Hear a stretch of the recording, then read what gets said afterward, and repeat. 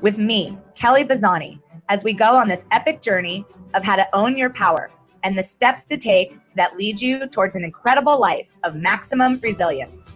This educational, powerful, engaging, and inspiring show will change your perception of addiction while we revolutionize the approach that ensures mental health as we address a worldwide epidemic.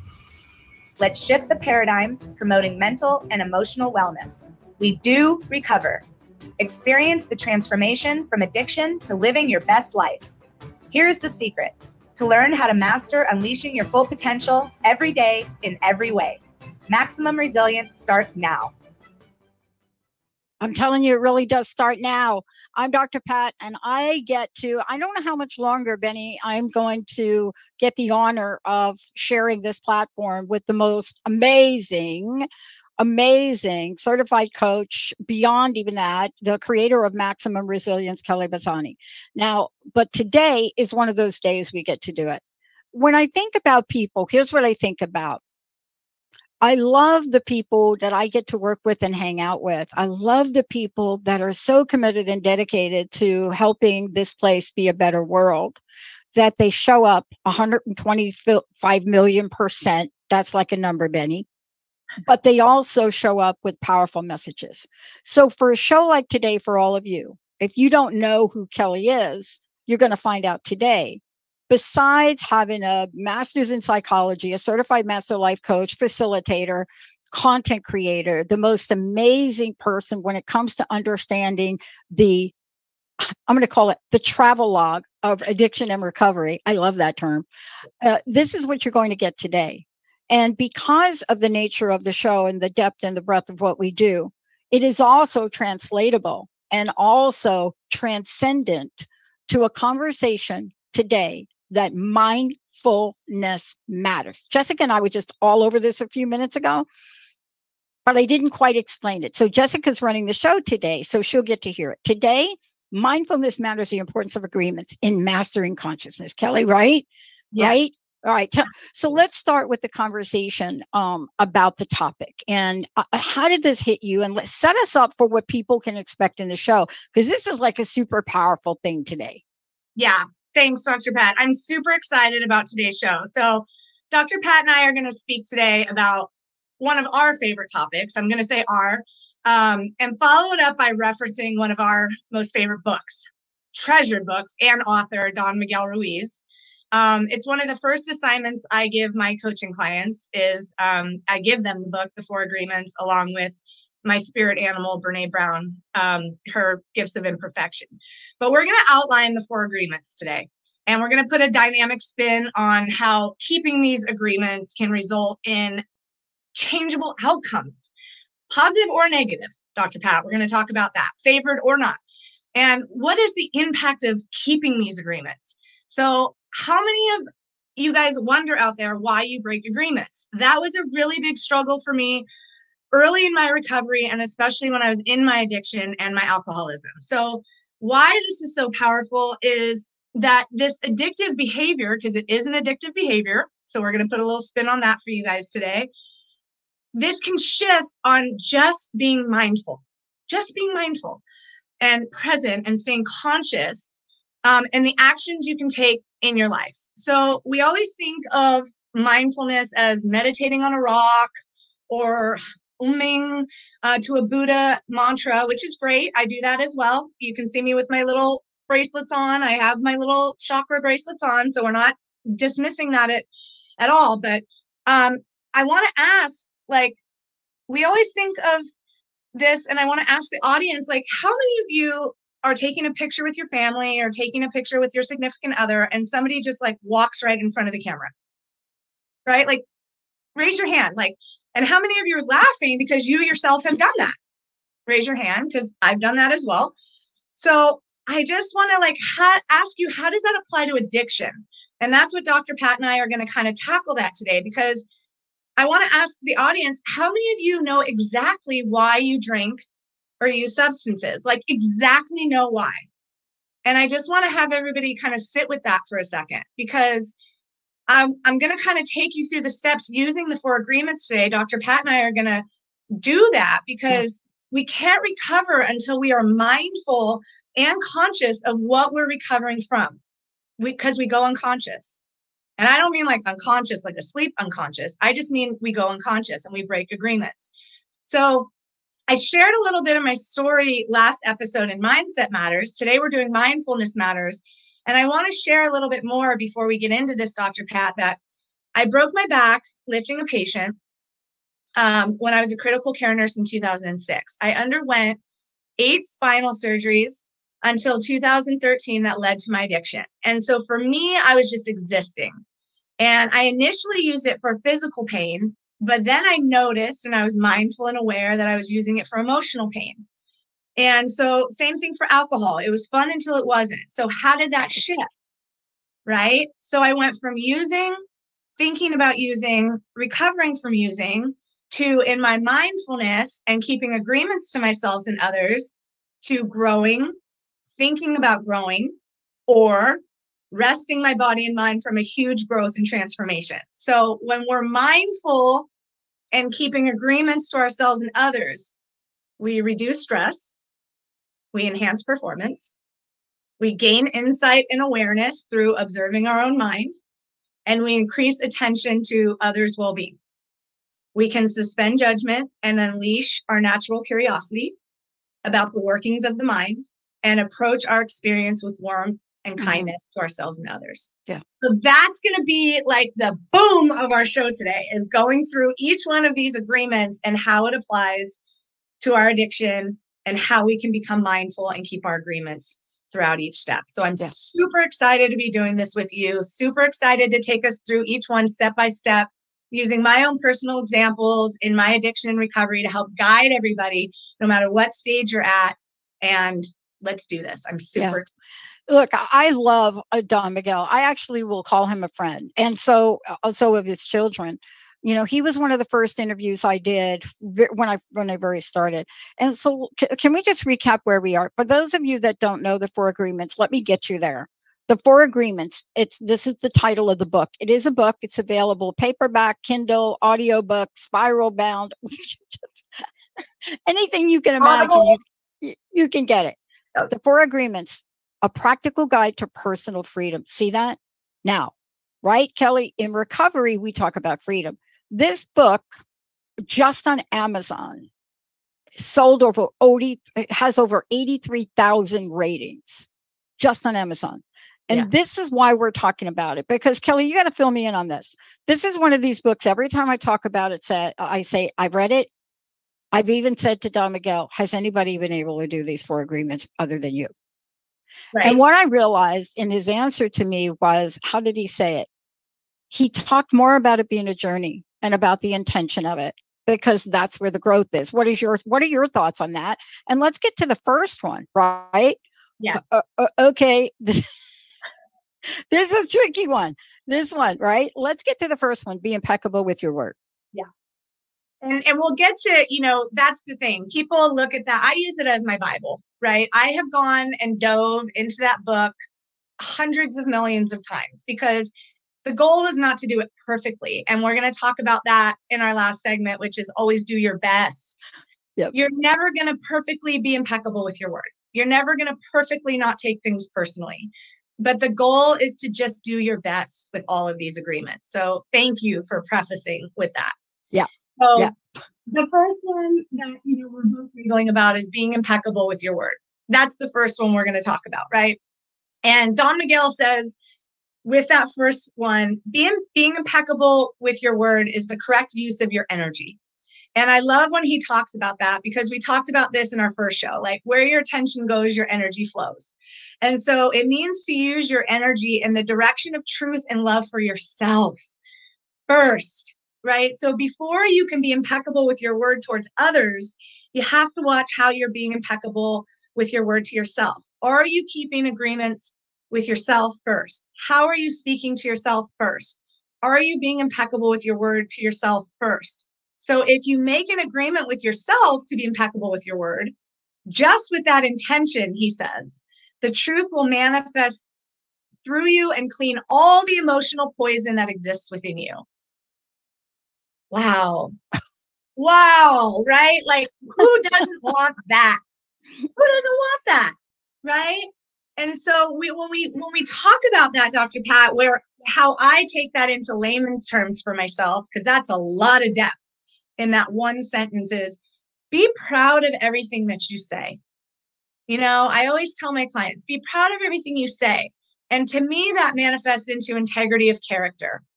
So, what are you saying to yourself? And is that translating over then into what you're saying to somebody else?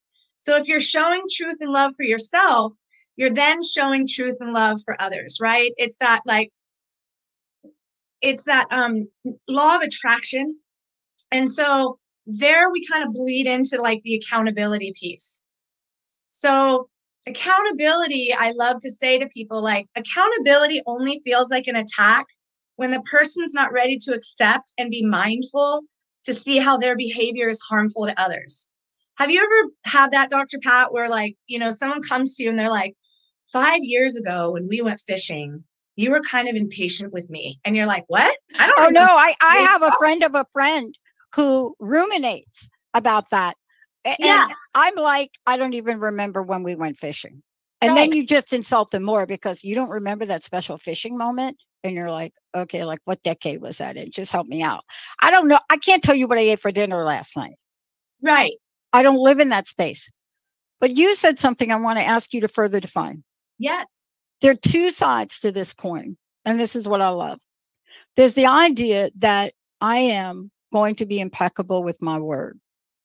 But there's the other side of it. There's the receiver of it who knows when we are and knows how it feels when we're not. There are consequences to both behaviors, doing it and not doing it. And I use the word consequences because there are outcomes. Let's just call it outcomes. Yes. You know, if if you can hit the mark more times than not to be impeccable with your word, then the outcomes of that are things like you develop trust, da da da da da da. When you're not, what how uh, what happens is there are negative consequences. So you're today talking about what happens on both sides of that coin because you mentioned the word accountability. And That's if you're going to mention accountability, then we got to talk about a whole lot of outcomes, right? That's right. So, for example, that's great. I love how you brought that up. So, if I'm living in my integrity of character and I'm saying to you that I'm loyal, I keep my agreements, I'm compassionate, okay, and that's what I'm keeping my agreement then you come to me and you say that about the fishing trip. And I'm like, I don't remember that fishing trip. Then I'm not being impeccable with my word of who I say that I am. I'm not keeping that agreement. So all those things go down. Your trust in me goes down. Your my your self-worth, your self-confidence, all those things go down. But if I say to you, Dr. Pat, I I am so sorry. I don't remember that fishing trip, but if you say to me that I hurt you, then I'm so sorry. So I'm compassionate, I'm living in my integrity of character, I'm being loyal to who I am, then all those things in in you go up. Your trust in me, your self-worth, your self-confidence and stuff because I keep my agreement, I'm being mindful, etc. Do you see? So there's how that works on that spectrum. I'm being impeccable with my word. Right? And so there's where it's favored or not, it can have a positive or negative outcome because nobody ever died from swallowing their pride, right? So even though I may not remember that fishing trip, I can't remember what I had for dinner last night. I can still be impeccable with my word to myself, keep my agreement, be mm-hmm. mindful, be conscious of what you're saying to me. And so that accountability only feels like attack if I'm not willing to admit how that behavior might have been harmful for you. So I'm still living there right? So we're free to choose, like you said, but we're not free from the consequence of our choice. So in that moment, I can choose to be impeccable with my word, or I can choose to go unconscious and not keep that agreement to myself and to you yeah. to be impeccable with my word. And now let's loop it back because we are talking about mindfulness matters. That is the episode today we're talking about. And I just want to remind everybody that the reason mindfulness matters, and Kelly, you're going to take us on, on the journey of what mindfulness really is, right? It's not what everybody thinks. And you don't have to be on a top, the top, you know, summit of in Tibet on a mountain. This is something that everyone can do. But what you just talked about really then brings itself forward when we start to think about this and we think about accountability and we think about mindfulness matters, this one right here, this one is the giant pothole. Yes. Don't take anything personally. Yes. And that is based off of our first step, right? Because this is why it leads so much to addiction because we have an addiction and it's called an emotional addiction. Right? We get addicted and Doc and Don Miguel says this so beautifully. And I'm going to start with what I say to my clients, right? Emotional pain is inevitable, suffering is optional. And so we get to choose to look at the role we play in our own suffering. And this one is hard for people in addiction because we create so much chaotic energy and our addiction. So when we choose to get sober, we're like, what do we do without all these emotional addictions? Okay. And so Don Miguel says humans are addicted to suffering at different levels and to different degrees. And we support each other in maintaining these addictions. And humans agree to help each other suffer. And so they are asking for justification to their suffering.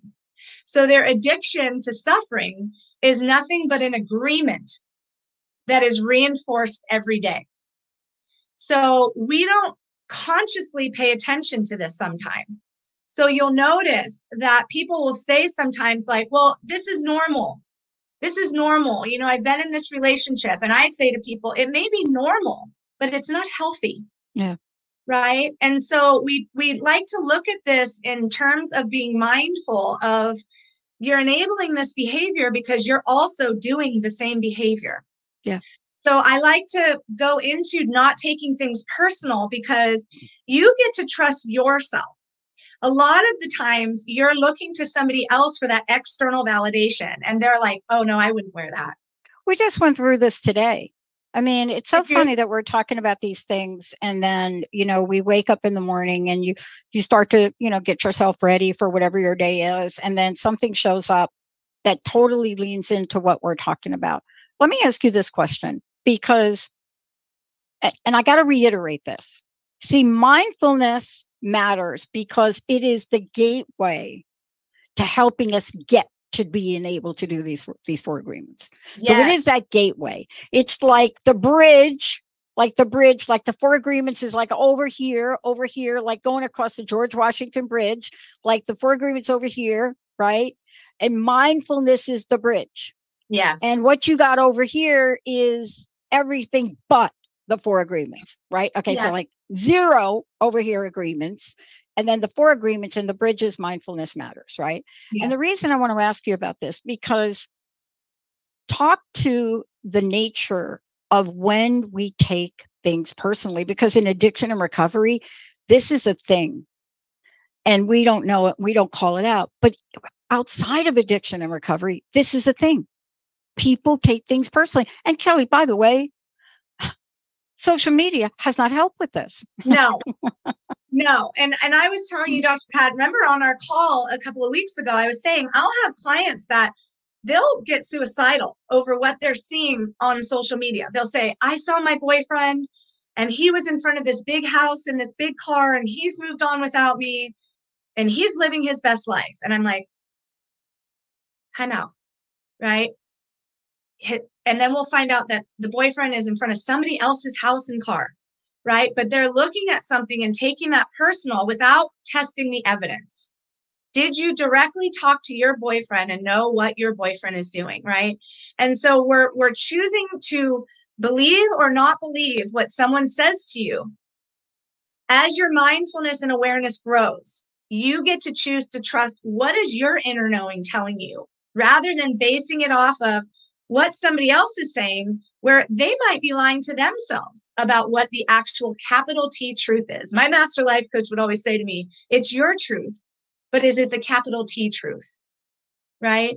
And so when you don't take things personally, you avoid many upsets in your life anger, jealousy, you know, all these different things that are happening, sadness, and you experience freedom, like you were talking about, and you do not place your trust in what others are saying or doing. So eh, you get to go into this problem solution for yourself, which I love to teach my clients, which is like, how do you, you come back to yourself, how do you contribute to the problem by either your reaction or your inaction when the problem is occurring? So I love the example. I, I want to, you know, I always like to use myself in, as an example. So I'm not just sitting here like, yeah. and do this step and then we do this right, step. Right. So early in my recovery, you know, I was, you know, I'm going to my parents' house early in my sobriety. Right. So my reaction is, why are they drinking when I'm sober? You know, why don't they have any non alcoholic drinks there that I like to drink? Why did nobody ask me, you know, what's my sensitivity around drinking? So there's my reaction. You know, then my inaction is, why didn't I say anything about how I was going to feel? Why didn't I call my mom and dad and tell them what alcohol, non-alcoholic drinks I would like there? My inaction, why didn't I set boundaries around the time I was going to show up and the time, right? So I go there instead of taking things personally and sitting there in my gunk, right? And and so there's where I can get it back to me and trust myself to know what action I can take and then I don't take things personally right? So I leave behind all that sadness, all that resentment, all that envy that everybody else is drinking and and I bring it back to myself. Okay? So I never spoke up. So I don't but I don't know any of that if I'm not mindful and conscious and keeping my agreements to myself around my own sobriety. And then I'm not taking it personally. So yeah. I love that. And we go back to the step one of am I being impeccable with my word and in my integrity of character?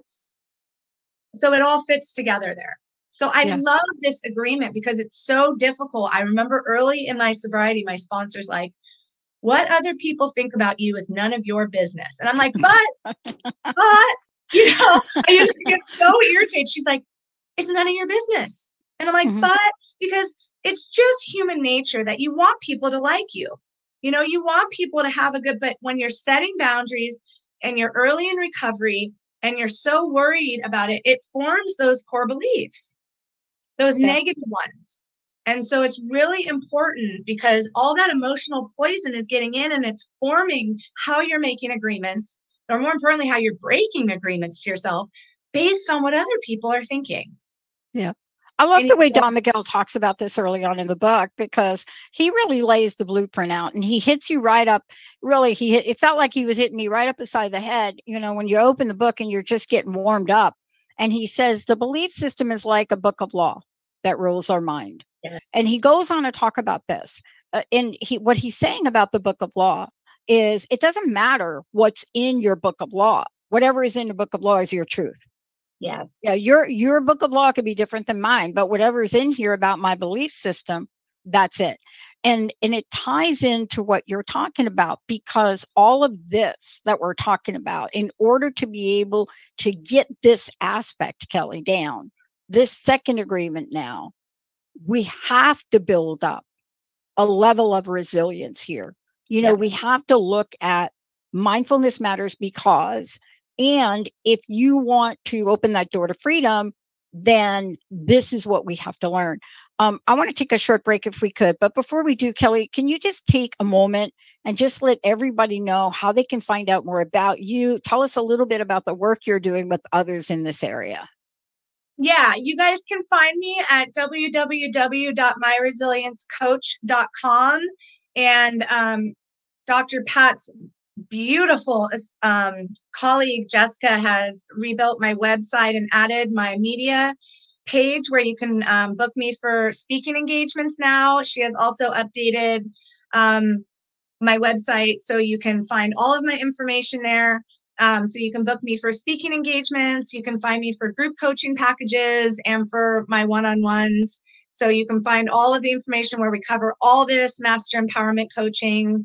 Um, and I'm speaking at a broader level to cover all these topics. So we're yeah. super excited to be expanding. Yeah. And by the way, this we're doing a whole series on this because you all have asked for it. You know, we we don't just randomly come up and say, "Oh, let's talk about this today."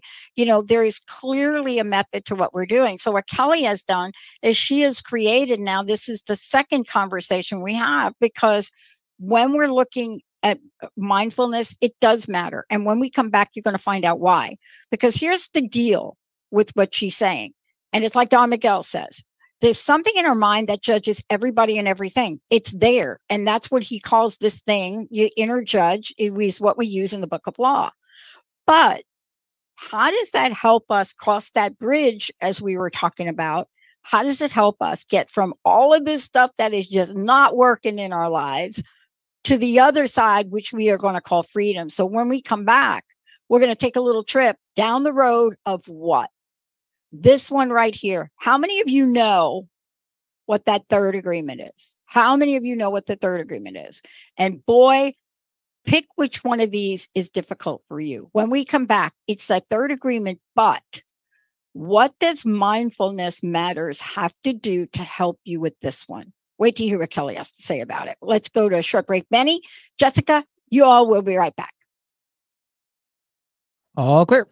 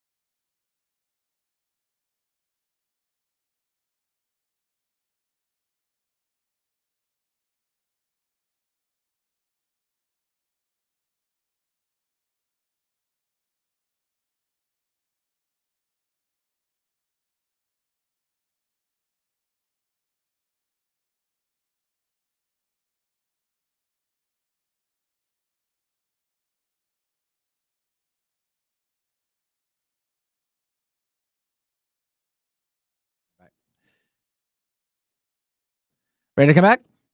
Stand by. Hey, everybody, welcome back. It's so great to have all of you tune us in and turn us on. And just want to remind everybody you are listening to Maximum Resilience with Kelly Bazzani. And I'm Dr. Pat. I get to take a little bit of this journey with her for the moment. Um, Kelly is bringing to the conversation mindfulness. Mindfulness matters. That's the conversation today. But in order for us to really build a bridge and explain the importance of this. I think what Kelly has done to really look at the book, The Four Agreements by Don Miguel, and say, look, let's take a look at mindfulness as the bridge. And let's take a look at these four agreements because what Don Miguel says is that these four agreements are pathway to freedom. And that's where we started. We're going to get ready to talk about number three, which is don't make assumptions. But before we do that, uh, Kelly, give out your website one more time if you could. Sure. It is www.myresiliencecoach.com. Okay. Look, in thinking about this, you know, we've so far what we've talked about for those of you out there, be impeccable with your word. That's what we talked about at the beginning. And you'll you know that has to do with mindfulness. And we'll we'll be able to tell you how these all tie together. Then the next one is don't take anything personally. So about why mindfulness matters. Now, this one's a little bit trickier, but Kelly is going to bring it on. Don't make assumptions. And Kelly, let's talk about this because this is the one where people don't really connect the dots very well for mindfulness, but it is essentially there, isn't it? Yes, it's so essential. And I want to just be really clear that I work on these every day myself um, in my mindfulness. But Don Miguel says the problem with making assumptions is we believe them to be the truth. And we talked about this a little bit in segment two. Um, we make assumptions about not only what people are thinking, but what they are doing. And this becomes a, a big problem, not only in recovery, but um, in our addictions. And so when we um, assume what other people are thinking or doing, then we blame them. And then we react um, by sending emotional poison with our word. And so I don't need to say on air that that's this can become a huge chaotic mess, not only for ourselves, but for the person that we are um, sending that emotional poison to. So um, we know the old phrase, you know, when we assume we, you know, boom, boom out of you and me, but that is still the truth with all this. So we make an assumption, we misunderstand, we take it personal, step two, and we end up creating internal and external conflict for nothing. Absolutely nothing. But it kind of goes with how we are in our addiction, right? We're, we're just creating kind of, at least I was, I was creating chaos wherever I went. So, um, what I am really, if anything, we take from this show today is have the courage to ask questions right? Make sure the communication is clear. What I always say to my clients is be inquisitory, not accusatory. Because by the time, you know, I always say to my clients, sometimes we don't have the closure we need. So then we make up the communication in our mind, right? So, Dr. Pat, you and I are friends, let's say. Well, we are friends, but we're just yeah. doing this scenario. Yeah. She's not communicating with me because she needs a minute, she needs her space or whatever. So because I don't have the communication, I'm over here and I'm making up a scenario in my mind because it helps with my pain, it helps with my discomfort or whatever. So I'm like, she's over there doing her Dr. Pat show. Well, she's nice and happy. Well, she's busy. That's why she's not communicating with me, right? So I'm over here making all these assumptions without any communication. So I'm blaming her. I'm making assumptions. I'm doing everything. So by the time I actually get a chance to communicate with Dr. Pat, I'm being accusatory with you statements, not I statements. You don't have time. You're busy with your show, but right. I'm spitting this emotional poison, which isn't healthy for me. It's right. And now, if you see, I'm bleeding into segment two. I'm taking things personally. I'm not being impeccable with my word. And it's just a hot mess express over at Dr. Pat. Now, how do you feel Dr. Pat's going to respond to that? Not very well, right? As opposed to, I'm inquisitory. Yeah. Right? Yeah, because I'm going to take it personally. So there we go with that. right? Right. So then instead, I'm inquisitory using I statements. Dr. Pat, I'm just curious. I don't feel like things went really well the last time we spoke. I was just wondering if you have time to have a conversation. I don't feel like I was clear in my communication. I don't feel like my perspective was probably the best on this because I was angry and upset, whatever the case may be. Yeah. Right? Huge difference in the way that I'm not making any assumptions. I'm not like blame shifting. I'm not gaslighting. I'm not like spitting emotional poison over there. Okay. So when you stop making assumptions and you communicate clearly and you're free of that emotional poison, your word becomes impeccable. So when we're clear and specific. So I just want to kind of bleed in a little bit that my one of my favorite authors, um, who is Bessel van der Kolk, he writes How the Body Keeps Score. He says, trauma is a reaction, not a memory. And at first I was like, uh, I don't know. And then when I thought about it, I'm like, absolutely. So Dr. Pat and I have a disagreement. She says something, right? At first I react. I'm like, right? Because she is not my trigger. Let me just be very clear. Yeah. And let me be clear about one more thing, too, because I'm so passionate about this subject. So please rewatch this as many times as you need to because it took me years to learn this and I want to take you through a shorter amount of pain in a shorter amount of time.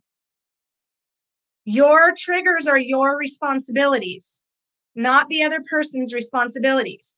So Dr. Pat says something to me, I get triggered. Dr. Pat is not my trigger. What she said was the trigger. Maybe the, her tone was the trigger. Okay. But I react to it and then it brings me back to the memory that is the trigger. Okay. So your trigger is an unwanted emotional or behavioral response. Okay. And so at that moment, then if you're mindful of this, this is where we get into the mindfulness matters. You have the opportunity then to ask questions and walk your way to a different ending. If you are not mindful of this and you go unconscious, right, you're going to keep repeating the same patterns over and over, but with a different person and a different experience until the lesson is learned and you become conscious of it. Okay. So this is where this is like really important. So I want to give a personal example, Dr. Pat, unless you want to Yeah. add. No, let's do it. Let's Okay. do it. Mm-hmm. Because this is the one thing I think right here, this one really touches on the others, but it's the Yes. one that can be the silent killer. The assumption one is the silent killer, right? Would you agree? Ab- Absolutely. And it took me years to learn it, but I'm so mindful and aware of it now that I have ended, like, I don't do this in my world anymore, right? Like, if I notice this and I see friendships keep repeating this pattern, and I'm like, hey, I'm just curious, I'm noticing this, and they're like, not mindful, and I'm having, I'm like, I'm sorry, I love you, but I'm gonna have to love you from a distance, right? Because it's it's emotional poison, right? So, my example that I am so mindful of and I continue to keep working on is my father. As a child, I was always seeking external validation from my dad, right? I wanted him to notice me, I wanted him to pay attention. My mother was always overly nurturing, telling me how beautiful I was and lovely and this and that, okay? So, therefore, I'm always aware and mindful of how I am triggered by people's responses to me because I know how I show up for people. Okay. So if I respond to people with this long, supportive, nurturing text, like my mother would send, okay, to people, and I get a thank you. So if I'm like, Dr. Pat, thank you so much for that wonderful phone conversation. You're the most supportive mentor. I appreciate you so much. da," Like my mother would send to me, and I get a thank you from you, like my dad would send when I was a kid. I am aware and mindful of how that is triggering for me. Okay. So I need to be aware of how it triggers my need for my dad external validation trigger. Yeah. Okay. So I can't assume or take it personal that just because I didn't get a long, nurturing text back from you, that you don't love me just as much as I love you. Yeah. Okay. That is an example of that.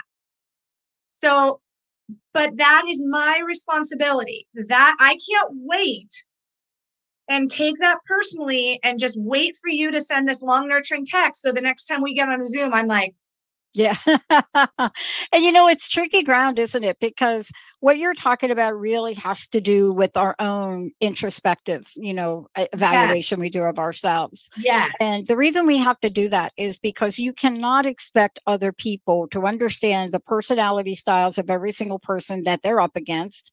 And although I will tell you, I have learned a little bit more that there are some people, all they want is a thank you and do not give me three sentences.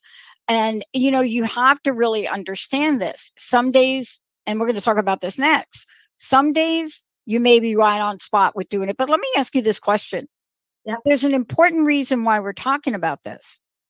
Because if you don't get these down right now, there is a behavior that you will take, which will either get you to freedom or get you to victimization.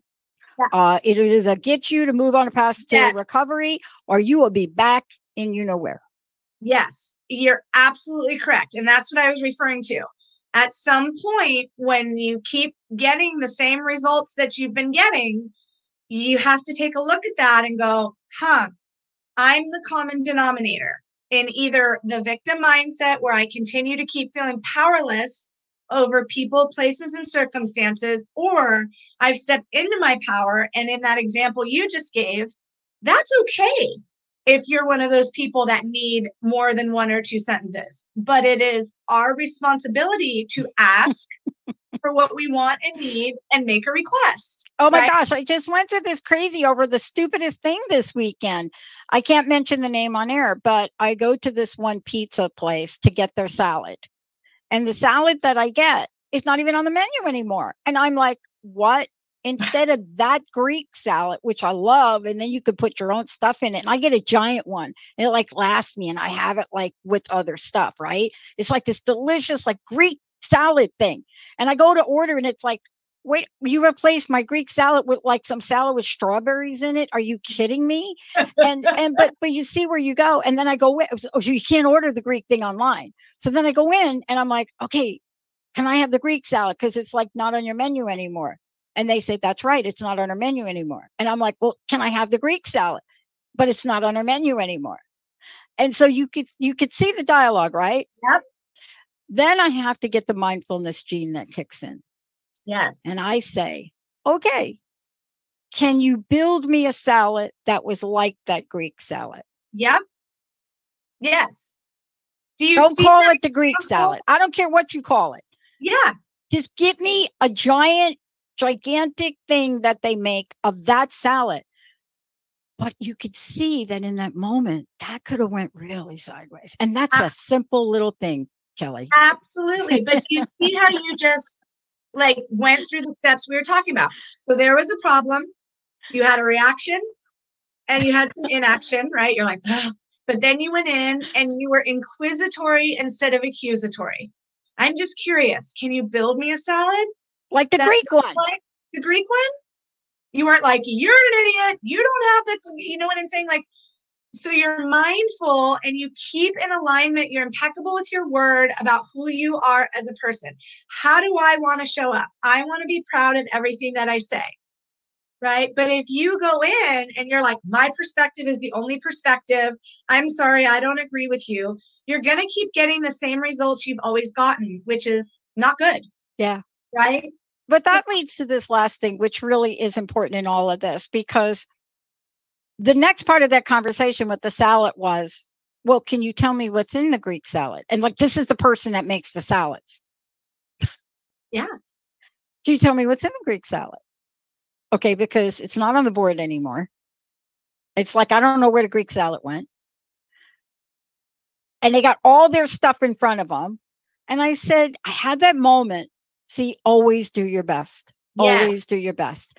And I said to him, because I was I was studying for this show, I said, you know, I will try my best. I will do my best to do that. And off we went. But see, this is it. Always do your best. It doesn't, doesn't say always do it to perfection. No. Right. But this one right here, this is a game changer. Yes. This is I I almost love this one the best because it encompasses the, all the three other ones, right? And this is where I see a lot of my clients um, pause, and I saw myself pause as I did the steps in recovery. You know, you see people get to the fourth step in recovery, myself included, and I took a minute, or my clients get to my paradigms and they stop because if they can't do it perfectly, they're like, ah, right? So I love this. So it says, you know, when you do your best, you learn to accept yourself. Acceptance. I I remember talking in my first show about like this is what we're going to do, right? We're going to take my story, we're going to go back and learn about the acceptance when I got into acceptance and didn't resist decisions I had made, took accountability for everything, get to the present and then how we maintain that resilience. So when you do your best, you learn to accept yourself, but you have to be aware and learn from your mistakes. Yeah. People don't want to look at their mistakes. They're like, right? And a great example I want to give, Dr. Pat, is for anybody that has children or have been around children or things like that. I myself don't have children, so I like to use the example of this. But when you have children and your child comes up to you and they're like, Mom, Mom, Mom, Mom, Mom, Mom, Mom, Mom, right? Like, what's going to happen if you don't acknowledge that child? They're going to keep going, like, mom, mom, mom, mom, until you look at your child and you say, I see you, I hear you, and I acknowledge you. Right. And then your child's going to go play and they're going to do their thing and they might come back and go, mom, mom, mom, mom. And then you acknowledge, I see you, I hear you. That's like your mistakes. Okay. Yeah. Well, yeah until you look at them and you see, I see you, I hear you, I acknowledge you, right? They might come back, right? But that's what I really want to encourage people to do because the more you resist it, whether it be a physical ailment, whether it be a mistake you made, whether it be a pattern you keep repeating, whether it be your addiction or alcoholism, put your arm around it, embrace it, and be like, You're part of me. I love you. I accept mm. you. And boom, right? Because the minute you start doing that, you learn to accept yourself, all yeah. of you. Well, so, let's let's talk about this in terms of recovery too, because yeah. I know you're going to give us a page out of the big book. Oh, yes. Okay. So because what you're what I hear you saying is the word accept. So I want to get to acceptance because you know, Don Miguel doesn't say it, but acceptance is built in each one of those four agreements. And it's also built in, you know, this idea of mindfulness matters is it matters because it gives you a neutral place to go. It doesn't mean you're not going to ruminate about fears and things, right? That's not what it means. But let's talk about this thing called acceptance because this now applies whether you're in recovery or not in recovery. This this right here what we're about to talk about. Go ahead, tell us about it all of it. So, learning from your mistakes means you practice, look honestly at the results, whether they're good or bad, and keep practicing. So, that right there, that right there will increase your mindfulness and your awareness. So, doing your best is taking the action because you want to. I, I, need to make that very clear because you want to and love it not because you're getting an award, expecting a reward or an accolade, because then you have an expectation. And I want to get into that, you know. If you have an expectation and don't enjoy the action, then you're going to meet that resistance and it becomes a have to instead of a want to or get to. And it leads to a resentment.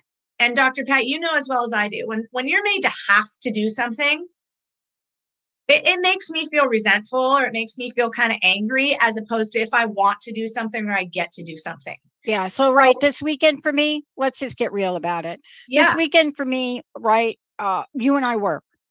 Yep. We work. We're working people. We have Absolutely. our own businesses. We're doing that. Who knows when we need to be on call or what we need to do?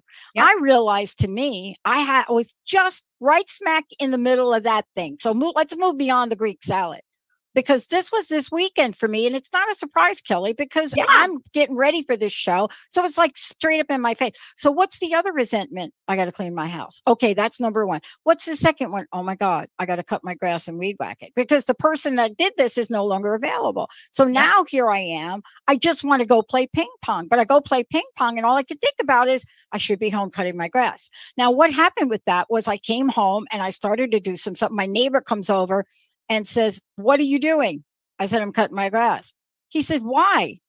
Wait till it gets to be 71 degrees next week. Yep. And I said, You know how fogged up my whole thinking was? Because why? Resentment was driving me Yes. over cutting the grass, which half of it is burnt out already, people that live here, and then cleaning my house. And you know what? I don't mind cleaning, Kelly. I, Kelly, look, I know how to clean with the toothbrush from grandma. But Yeah. here's what I want to say you got to take this away now because I couldn't get someone to come to take care of this for me. That's right. But boy, let me just get a resentment about it. That's better. That's right. Because you would get on autopilot, right? So action is about living fully. Inaction is the way that we deny life.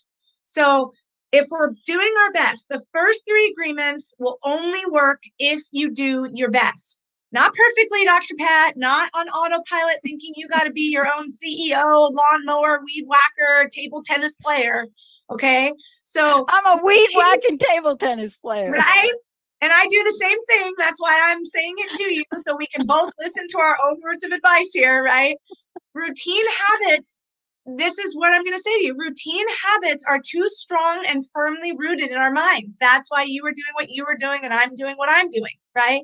So don't expect that you will never take anything personally. Just do your best.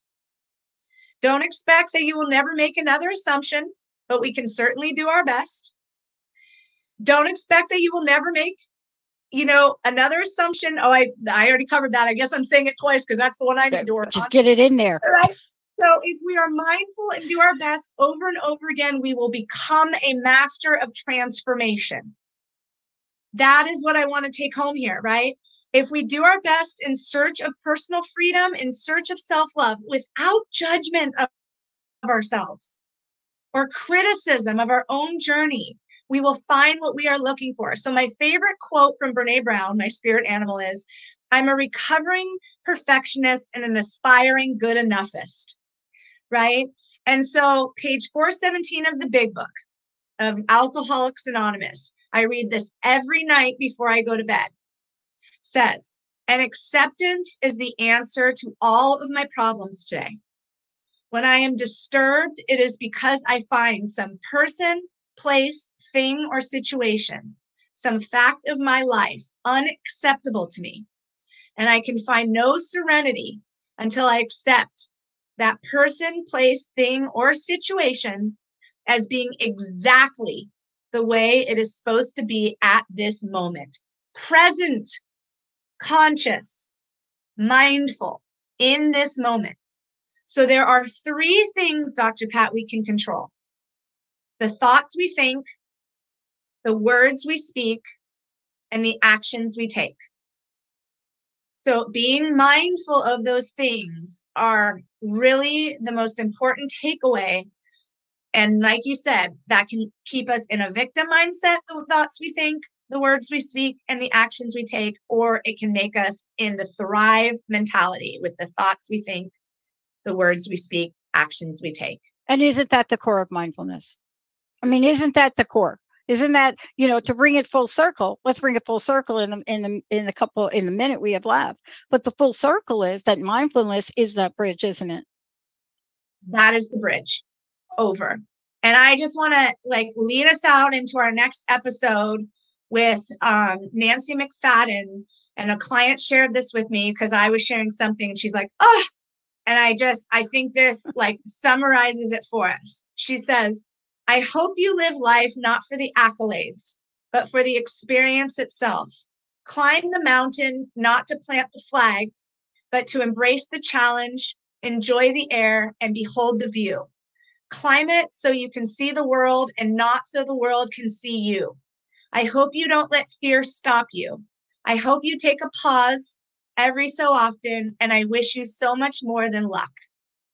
Right? It's not so we get an award. It's not so we do this mindfulness work and being present so that we can get to the top and go, wow, look at everything I overcame. I kept practicing. I kept looking at my patterns. I kept wanting to be impeccable with my word. I kept practicing not making assumptions. I kept practicing not taking things personally.